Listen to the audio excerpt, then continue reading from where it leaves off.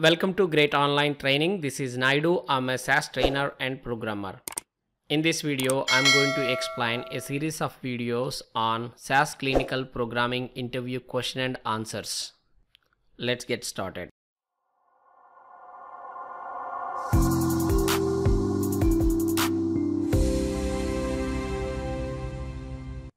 Okay, this is very common question generally when you are uh, just appearing for any type of interview. So whether you're really uh, having experience or putting some fake experience on your resume, they'll get to know by just asking this type of questions.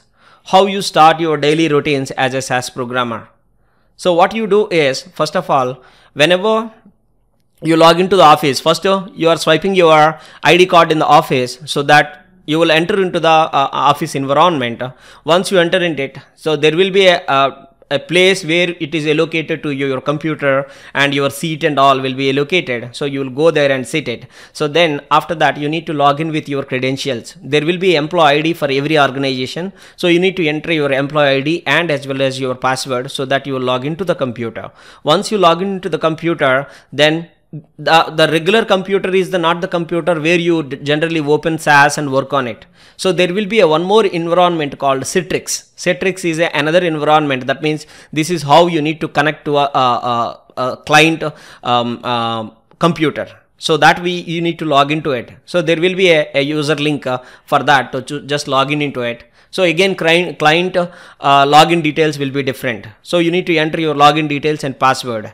So once you enter it into it, so then your SAS software you can able to see on that particular desktop. So you can click on that icon of your SAS so that the SAS will open.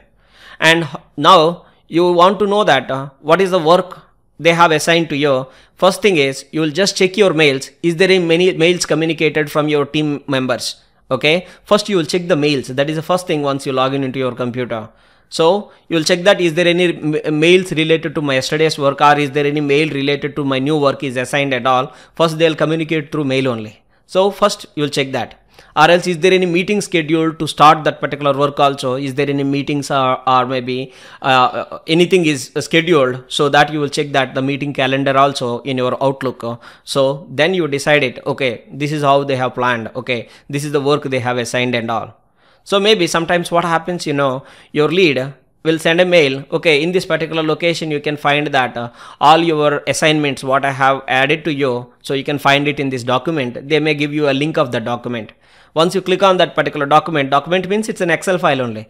With that Excel file will have all the informations what is required uh, to start your job okay maybe imagine how many uh, uh, tables we need to create it how many outputs to be created and all so generally what happens you know you no need to uh, do the work uh, today and they, uh, that means imagine when you just log into the office at 9 o'clock in the morning don't expect your output to be submitted in the 5 o'clock in the evening okay? So there will be a small milestones we call it as a the terminology call it as a milestones. Milestones in the sense uh, total all this uh, six months of duration around four members or maybe five members are working so that all this particular work will be distributed to all. So sometimes it will be equally distributed sometimes not unequally distributed based on its experience.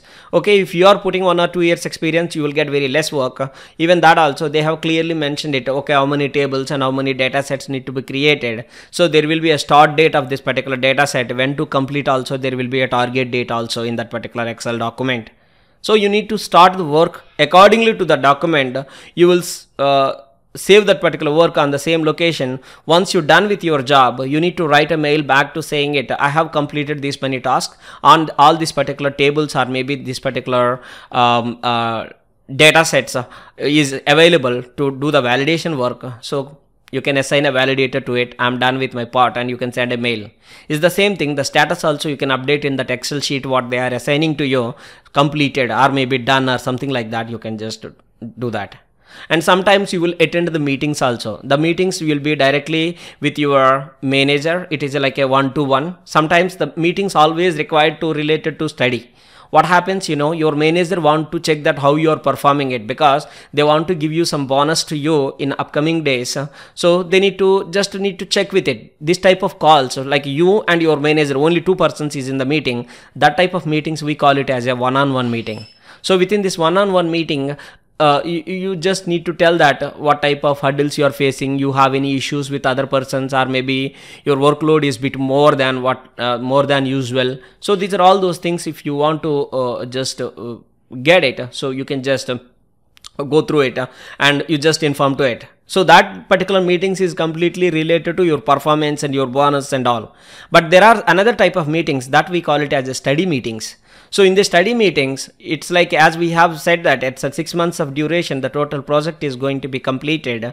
Within that let's say they'll put a two weeks as a target. So within the two weeks what are the work you have completed? How many are completed? How many are pending so that is there any scope to do a, more work or maybe uh, so that manager will think that okay i can assign a more work to you because you have already completed so these particular tasks and all. So the planning executions and everything we will discuss on these meetings we call it as a study meetings. Or else we also call it as a uh, what I can say daily one-to-one connects or we can call it as a or maybe we can call it this meeting name as also call it as a uh, study meetings so study meetings will tell about uh, all your roles, how you proceed, how you need to proceed further uh, with work-wise. You can able to discuss in these particular meetings. So as a programmer, your job is always just login into the computer, check your mails. Is there any meeting scheduled? Then you will attend it. No meeting schedules. And check your tracker. Is there any work assigned to you? You try to do the work accordingly.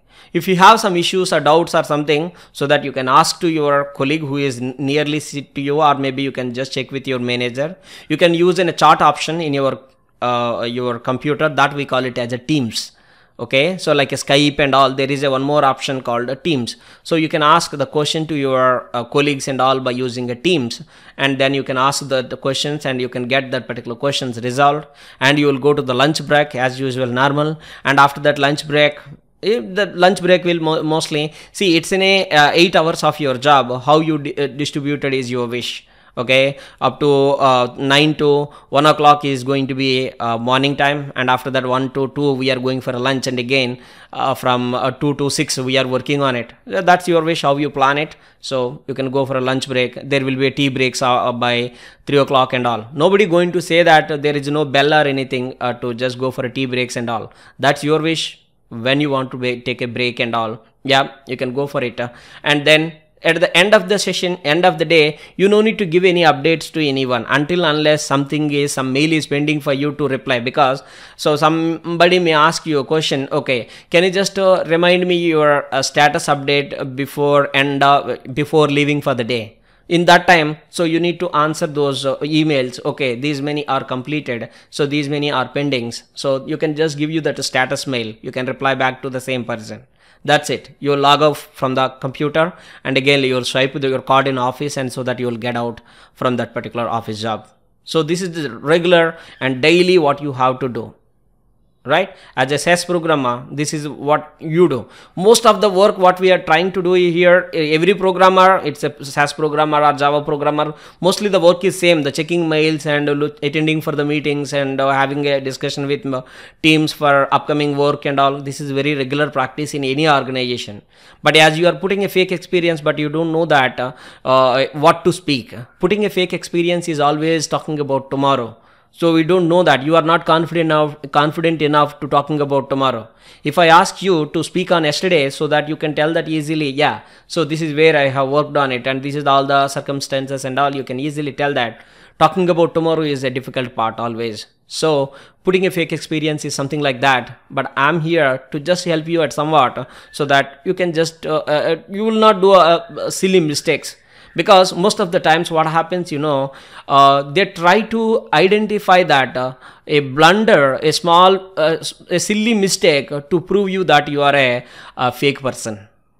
Okay? Not to show that uh, as you are a fake, a fake, person try to be yourself and uh, try to be in the shoes of a SAS programmer so that you will be able to understand what a SAS programmer is doing in real time so that it will be easy for you to continue. Next